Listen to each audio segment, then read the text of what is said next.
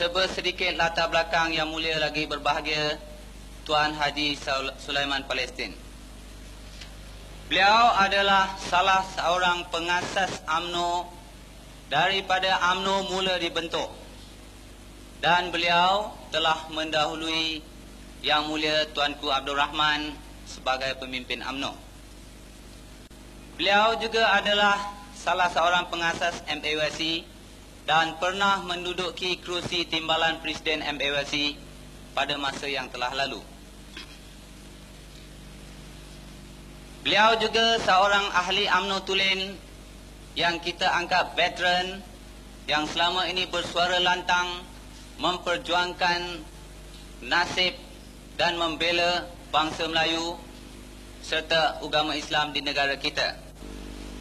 Agak supaya mereka dapat pada masa depan menilai pemimpin-pemimpin itu dalam satu nilaian dan kajian yang halus yang menguntungkan perjuangan bukan menilai seseorang pemimpin itu di atas keadaan dia.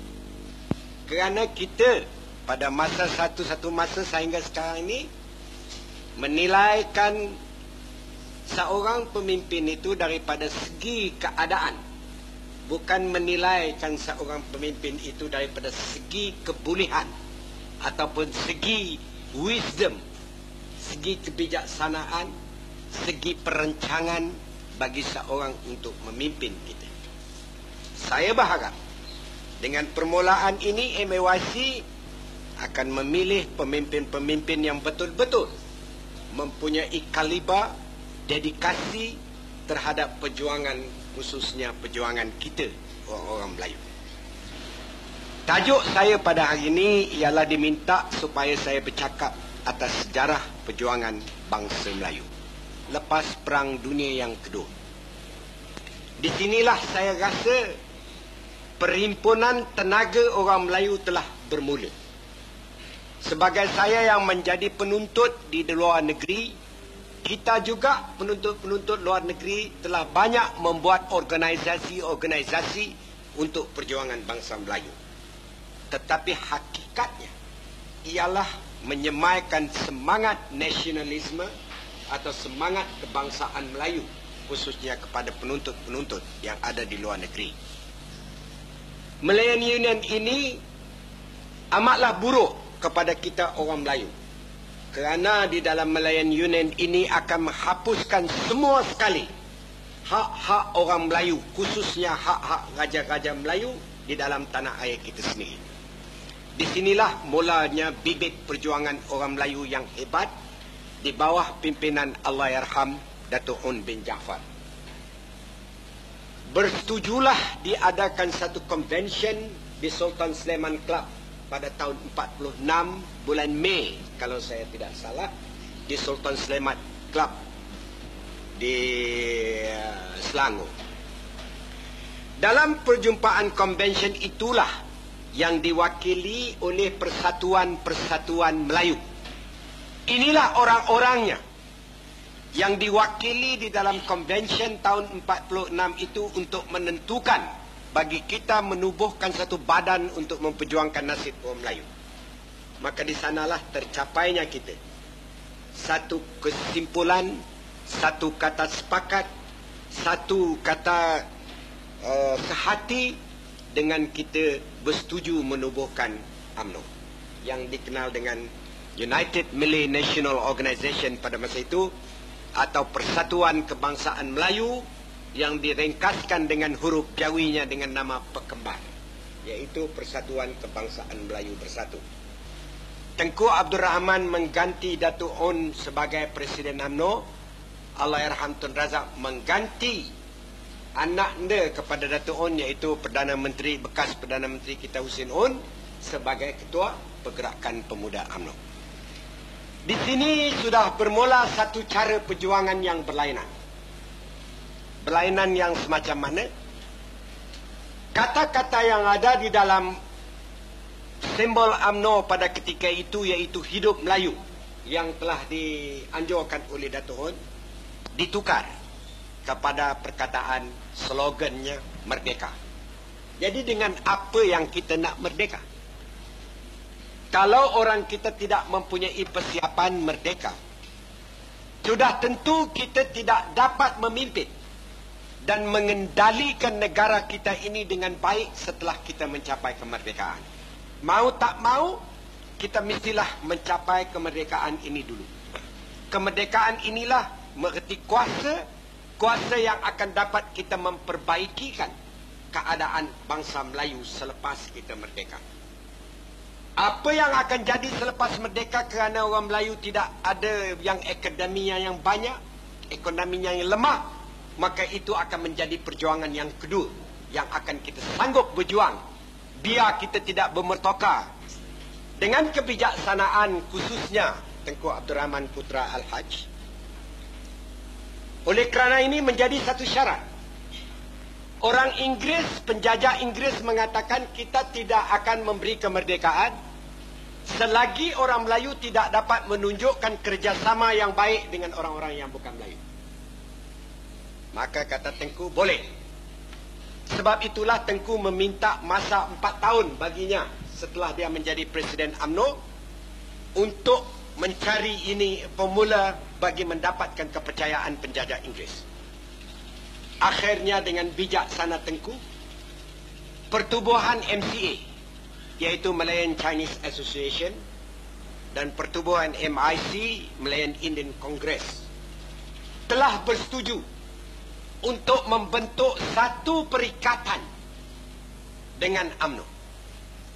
Tetapi kita terus memberi pengetahuan kepada rakyat.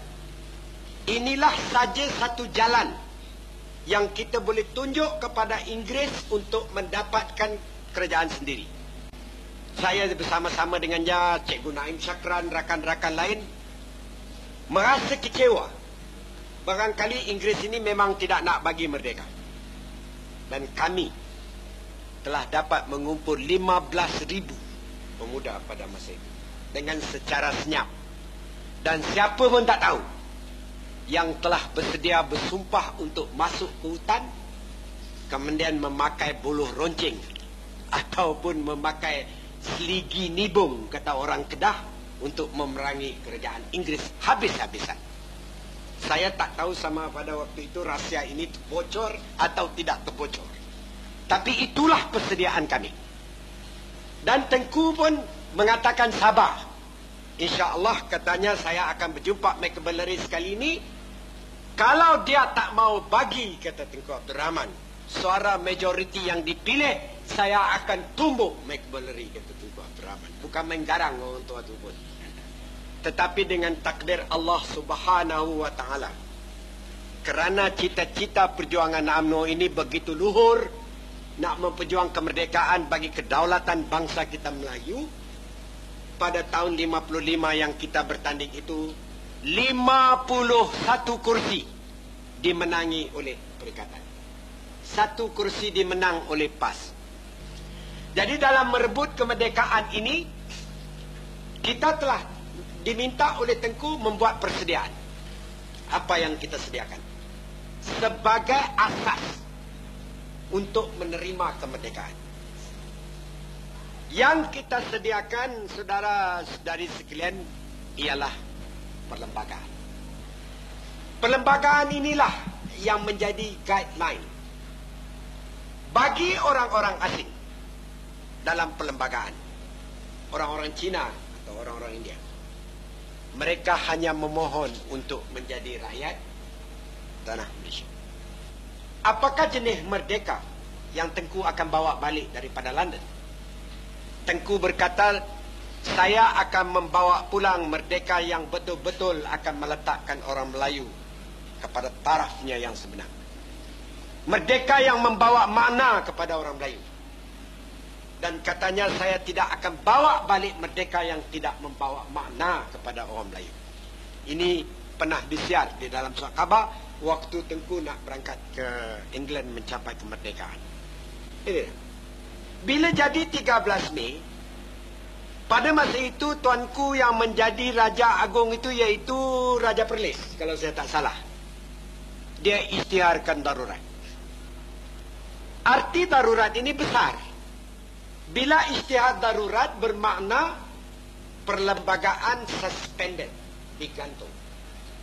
Bila perlembagaan digantung, maka rakyat yang berpolitik tidak lagi boleh berpolitik sama sekali. Karena kuasa itu dipulang kepada Duli Yang Maha Mulia Seri Paduka Baginda Yang Ketua Agung.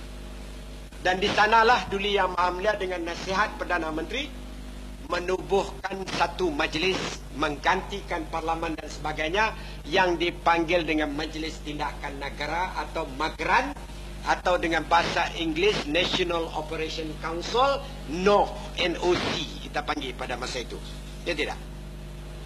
Di sanalah semuanya membuat keputusan.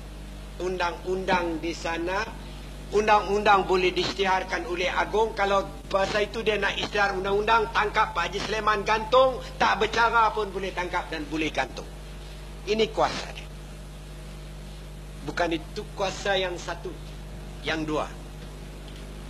Kuasa yang dua yang orang Melayu mesti tahu semua.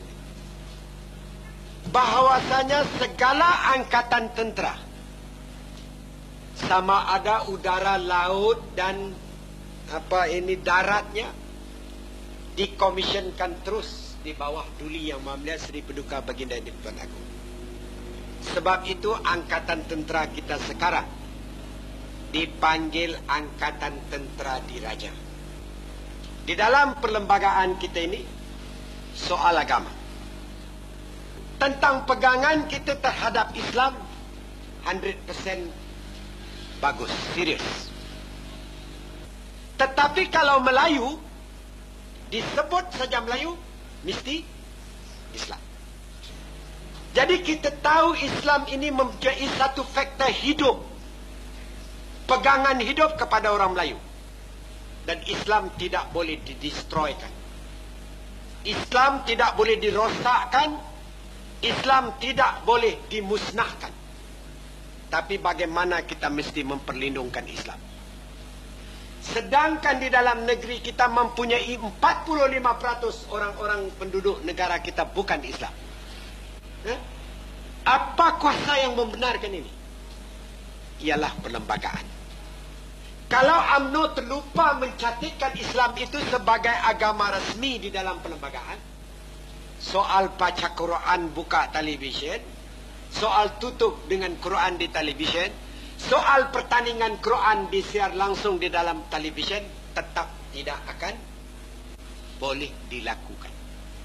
Ini kita lakukan alhamdulillah. Itu daripada segi dakwah. Kemudian kita balik kepada segi undang-undang.